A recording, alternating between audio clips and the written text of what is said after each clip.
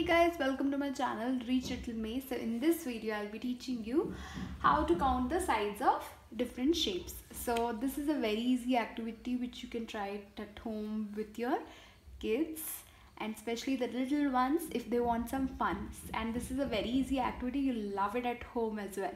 So let's start the video. Now, how do we count sides? So we have, what is the first shape? We have triangle. Now triangle has how many sides? Let's count. One, two and three. So how many sides are there in a triangle? There are three sides. See? So easy. Now what is the next shape we have? We have square. Now let's count the square sides. So we have one, then two, three and four. So that means square has how many sides? Four sides, right? Now next we have a rectangle. So rectangle has how many sides? One big side, two big side, three, it's a short side and four short sides. So we have, again we have four sides. Now circle. Circle does it have any side? No. So that means circle has zero sides. Now we'll take some more shapes. Okay. Now next we have a lovely star.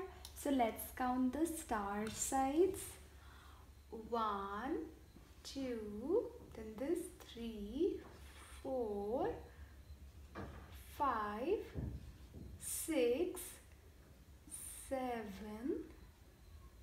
eight, nine, ten, eleven, and last one twelve.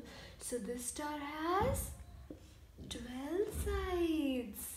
Very good. Now next one is a pentagon. So we'll count the sides one, two, three, four, and five. So pentagon has how many sides? Five.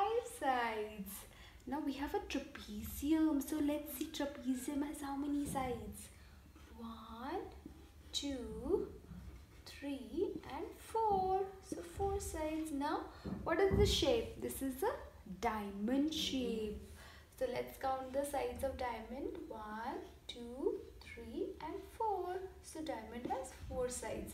So you see, you can try this home at in your home you can do with uh, slate and chalk or you can do with whiteboard. So this is a very easy method which will help the children to count the sides.